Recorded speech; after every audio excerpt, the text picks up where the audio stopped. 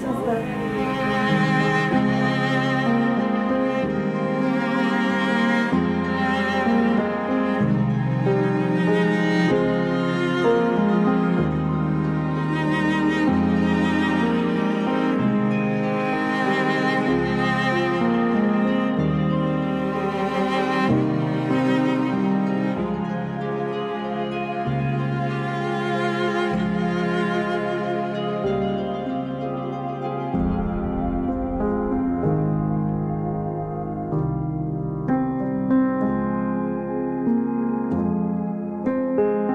With this ring, With this ring, I thee wed, I be wed, and with all my worldly goods, and with all my worldly goods, I thee endow. I thee endow. In the name of the Father, In the name of the Father, and of the Son, and of the Son, and of the Holy Spirit. and of the Holy Spirit.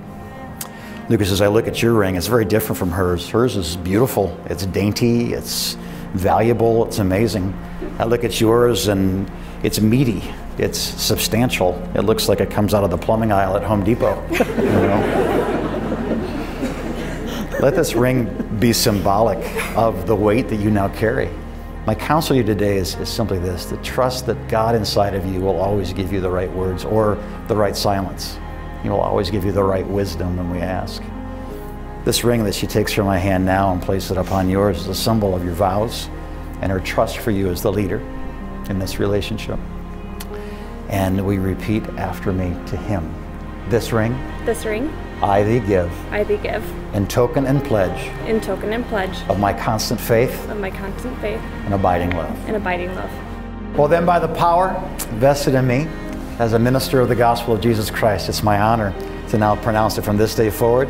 You shall be husband and wife in the name of the Father, the Son, and the Holy Spirit. Sir, you may now kiss your bride.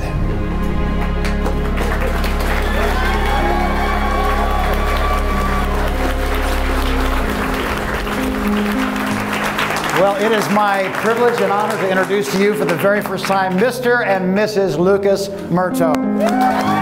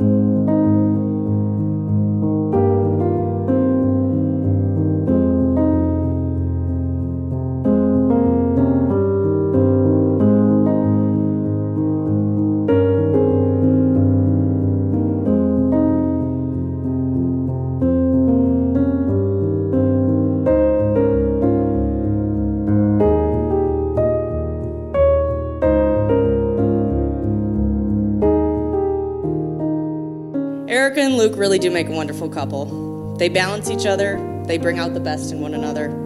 You can tell just by looking at them that they truly are meant to go on this lifelong journey together. Erica, I've always been your biggest supporter, and I'm handing the reins over to Luke. Take care of her, or you answer to me. They say that you don't marry the person that you can live with, but the person that you can't live without. And I think that that perfectly describes Luke and Erica. So if you'd all raise your glasses with me and toast to the bride and groom, welcome to the family. Advice to the couple be true to each other, love each other with all your hearts, share your vision and goals, and support each other no matter what happens. And I'd like everybody to raise their glass to a toast. We wish you all the best in your new life together. May it be as fulfilling as ours. We love you both and congratulations.